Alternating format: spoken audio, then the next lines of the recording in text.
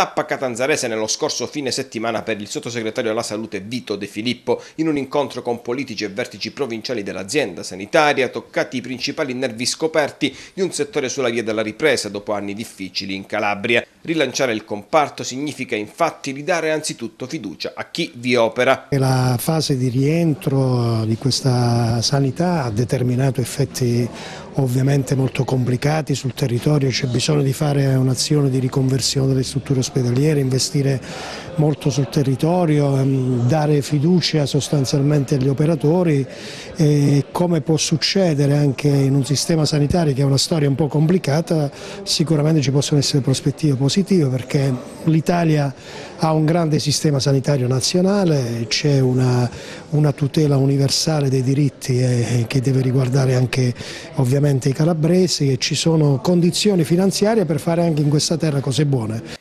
Lo sblocco del turnover costituisce il tema maggiormente dibattuto nelle ultime settimane. Tornare ad assumere è obiettivo meno lontano di quel che potrebbe apparire. Vito De Filippo chiarisce infatti le tappe che potrebbero condurre presto allo sblocco delle assunzioni nel comparto sanitario.